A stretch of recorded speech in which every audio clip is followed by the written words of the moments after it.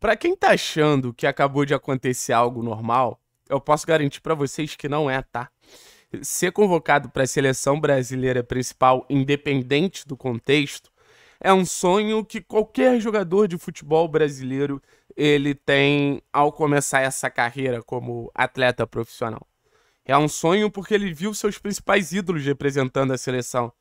É um sonho porque quando ele estava jogando bola, seja no campinho de terra ainda na infância, ou nos campos que são quase de terra no futebol de base, ele sonhava em viver grandes momentos. E certamente um desses grandes momentos era estar usando a camisa da seleção brasileira.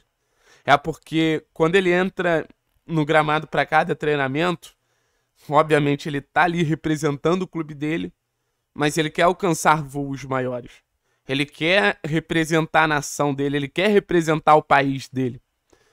E por muito mérito, o Mikael e o Vitor Roque eles vão poder representar a seleção brasileira e vão poder representar o Atlético na seleção brasileira. Se eu falar para vocês que uma situação dessa não me emociona, eu estaria mentindo para vocês. Porque eu acho que essas duas convocações mostram muito sobre o Atlético. Um clube revelador, um clube de boa prospecção, um clube que sabe encontrar talento onde nem sempre o talento é visto. E um clube que mostra que é um clube jovem, que é um clube que vai estar tá sempre ali alimentando seleção brasileira, vai estar tá ali sempre alimentando o futebol europeu, mas vai estar tá ali sempre alimentando o sonho de quem veste a camisa do Atlético. Quando o hino do Atlético fala que só se veste por amor, é muito bonito, mas se veste também por ambições profissionais. O jogador ele vem pro Atlético para chegar à seleção brasileira.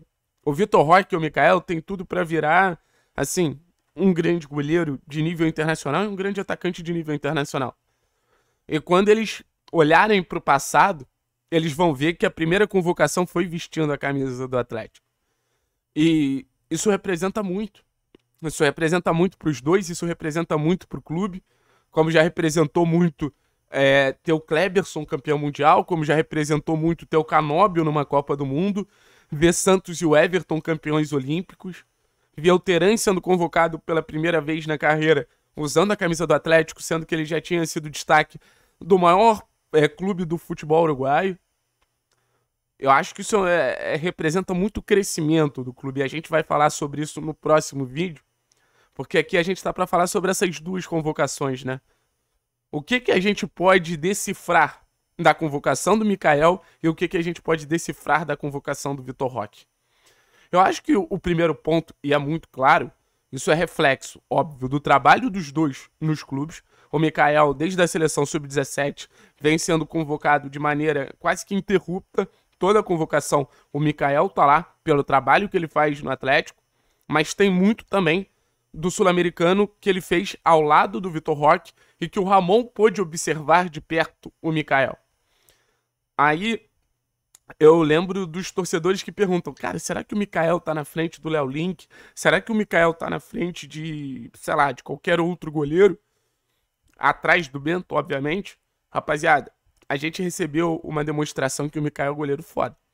Se a comissão da seleção brasileira trabalhou um mês, um mês e pouco ali com o Mikael e achou que ele merecia ser convocado, significa que, assim, se a gente ainda não tem a confirmação no futebol profissional que o Mikael é um goleiro muito acima da média, eu acho que esse é mais um indicativo. Além das convocações, além das atuações dele na base. E quando saiu uma notícia, como saiu no GE, o Atlético prepara o Mikael para ser o substituto do Bento, nos tranquiliza muito pelo nível de goleiro que a gente tem. Porque a gente tem hoje um dos melhores goleiros do país. Na idade ali, na categoria, acho que o Bento continua sendo um dos melhores goleiros do futebol brasileiro. Sem dúvida nenhuma. E você já tem um substituto ali na seleção brasileira principal. Ah, Thiago, mas ele vai ser terceiro goleiro, ele só vai treinar. Cara, quantos goleiros poderiam ser terceiro goleiro e só treinar? João Paulo dos Santos, o próprio Bento o Everson do Galo. Ah, mas ele quer é, começar uma reformulação na seleção brasileira. E ele começou pelo melhor. O melhor é o Mikael. Sabe? Óbvio, tem o Ederson na frente, tem o Everton na frente, dois goleiraços. Mas muito importante também sentir que esses goleiraços, eles vão poder ajudar o Mikael. Tá junto desses caras que representam pra cacete no futebol brasileiro, eu acho que é uma bagagem muito grande que o Mikael ele vai poder trazer.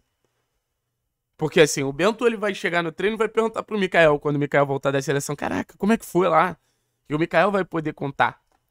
Além da experiência que é poder trabalhar com a comissão técnica da seleção principal, a linha de preparação de goleiros. Muito feliz com a convocação do Mikael. O Vitor Roque a gente pode falar mais, né? A gente acompanhou mais do Vitor Roque. Foi outro destaque no Sul-Americano Sub-20, mas mostra algumas situações.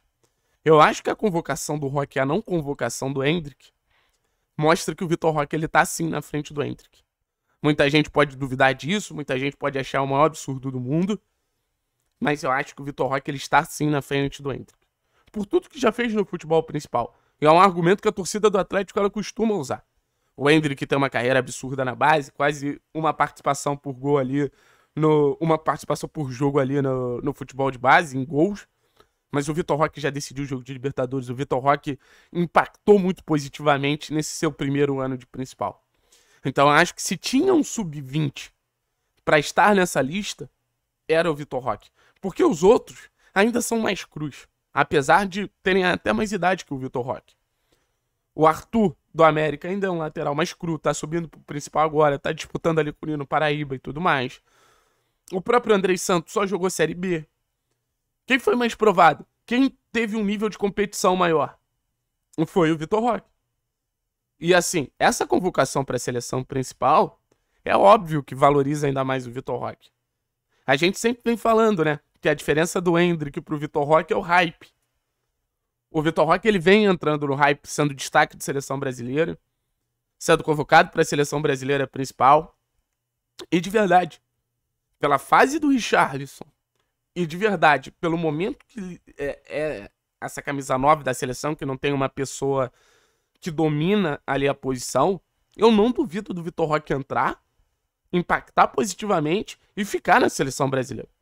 O Vitor Roque, eu acho que tem total capacidade de ser uma peça que foi mais para uma convocação simbólica, mas que ele convença tanto a comissão técnica em questão, que essa comissão técnica ela pare, pense e fale o seguinte: garoto, você vai ser convocado na próxima, na próxima, na próxima.